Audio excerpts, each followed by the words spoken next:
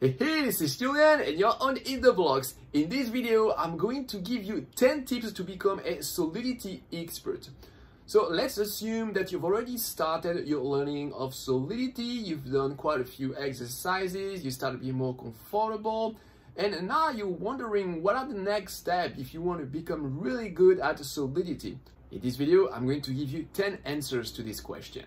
So my first tip is to learn the security vulnerabilities of a smart contract. A smart contract manipulates money and if a hacker manages to hack your smart contract, it can steal all the money and that can be really terrible. So there are some very typical attack vectors that you should know about when you write a smart contract. And when you know about these different security and vulnerabilities, you will also learn what are the typical solutions to prevent these hacks.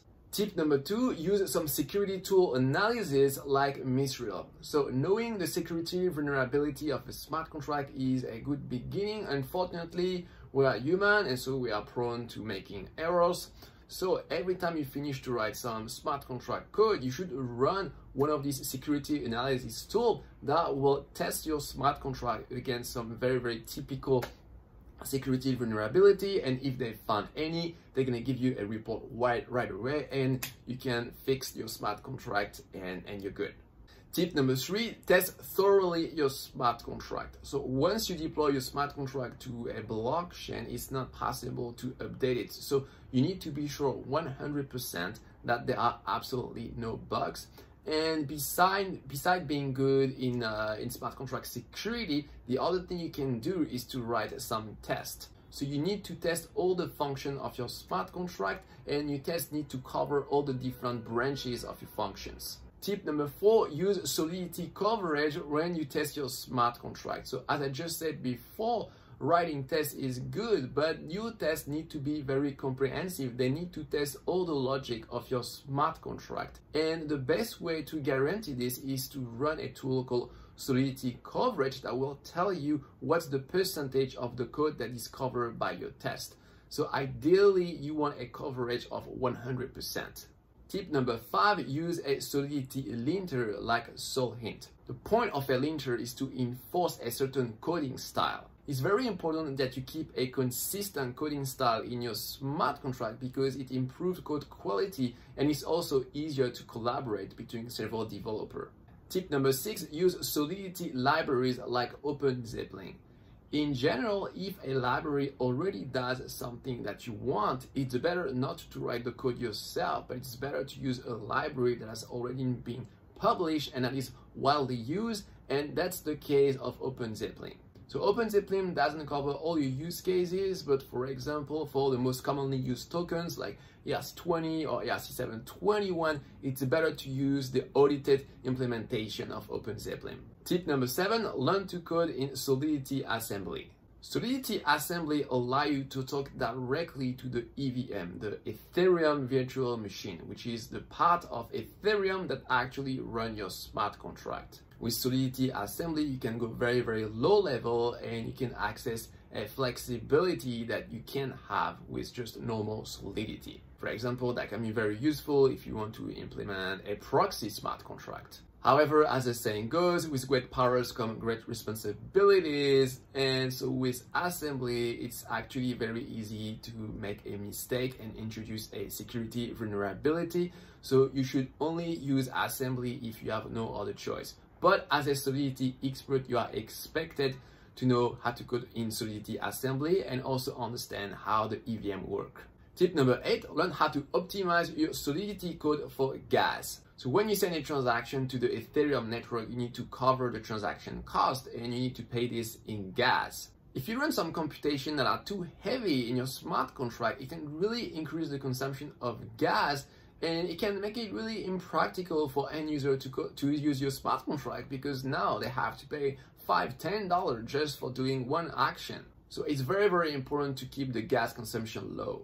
Usually the most efficient way to optimize for gas is to take some computation off the blockchain and only keep the very essential in your smart contract. You can also use tools like ETH Gas Reporter that will give you a report on the gas consumption of all your function when, whenever you run your test suite.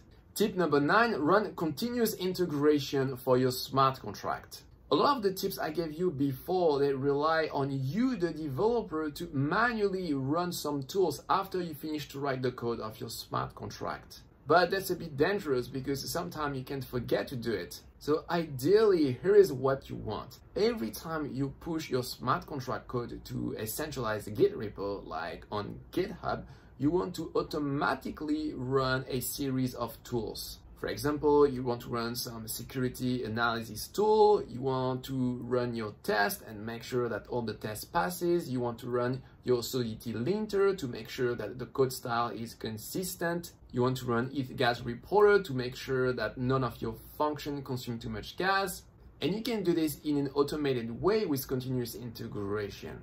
So back in the day, continuous integration used to be a bit difficult. You needed to integrate some third-party services or set up Jenkins, but now it's super easy. So now no matter if you use GitHub, GitLab or Bitbucket, if you want to set up CI, all you have to do is to drop a YAML configuration file where you specify the tools that you want to run every time you push your code to your smart contract. So that's very easy. That's also totally free. So you have absolutely no excuse not to do it. Tip number 10, learn another programming language for smart contract like Vyper, for example.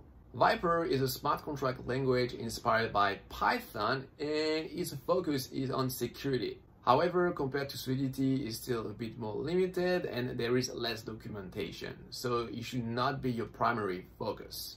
And bonus tip number 11, challenge yourself by coding some advanced smart contract. Don't just stay in your comfort zone, but try to do some smart contract that are beyond your current ability.